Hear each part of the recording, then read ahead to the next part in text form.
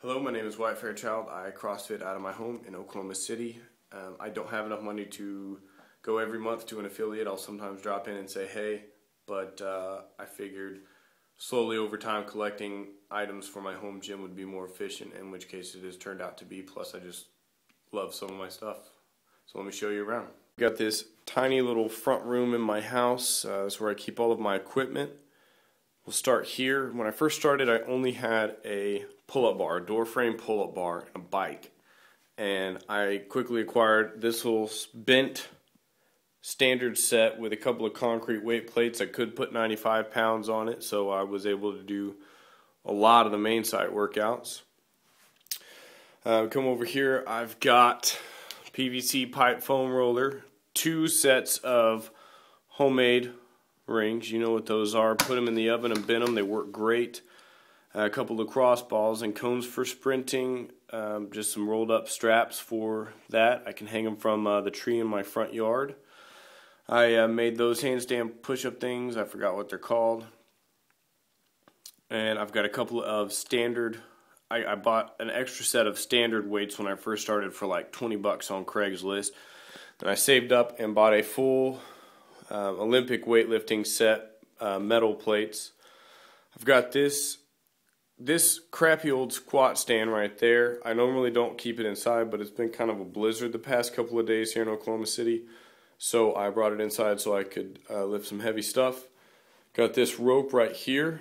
Uh, it's 22 feet.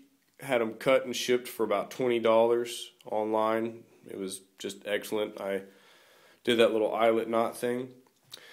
I've got this Concept 2 rower that I found on Craigslist for only about $300 and it had less than 10,000 meters rode on it.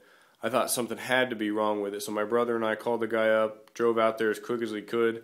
Ends up the guy was uh, pretty hefty and he said it hurt his back, so he was going to sell it and it had been sitting in his closet for about a year. So I jumped on that.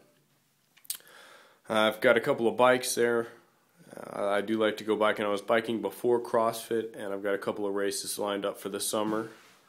Uh, my, my first big time purchase, full price, big time, uh, high temp bumpers from Rogue. I've got two 25 pound pairs, and then in the middle right there, two 45 pound plates. And I've got three Olympic bars over here. Not the best quality, but uh, they, they take a beating, so I can throw them around and have fun with that. And there's the remainder of my Olympic weightlifting plate set. So uh, let me take you outside. So we come outside here, the conditions in Oklahoma. We are not used to it, to say the least. We get about one or two good snows a year.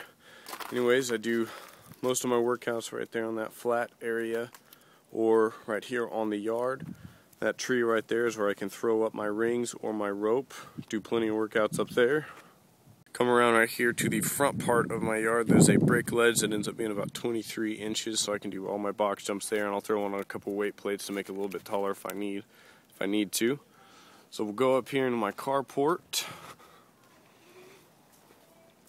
I can back my car out, and I can back this squat cage contraption out and squat in it, press in it, overhead squat in it, you name it. I built it about 150 bucks, Home Depot. And there's the support system. Up at top, I've got, I think it's an inch and a half pipe, so we can do pull-ups. I can have two people, one on either side here. I'm doing kipping pull-ups in a Metcon, and it holds up just fine.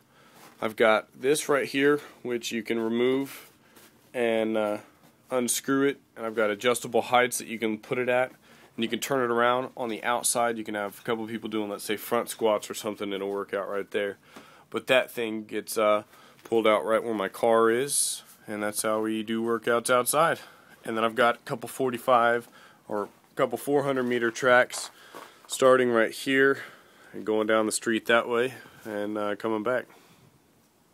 You walk in here to my living room. Uh, I did most of my early day Metcons in here. Cindy, Fran, all those good good workouts.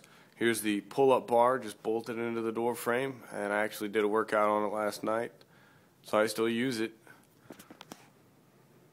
So that's the general look at everything that I have here in my house. Most of it's just deals that I found on Craigslist or Home Depot, like my squat stand, put it together myself, um, designed it myself. But overall, I spent right around a thousand dollars. Now that I bought that uh, bumper plate set from Rogue, it pushed me maybe a little over a thousand. Um, but just kept my eyes open for good deals and steals on Craigslist and from people I know. Sometimes I traded some stuff. Um, we have anywhere from myself to nine to ten different people running down the street running 400. So I have uh, have a little thing going on here. Lots of fun. Love working out here. So uh, if you're ever in the area, drop on by and uh, we'll get a workout in.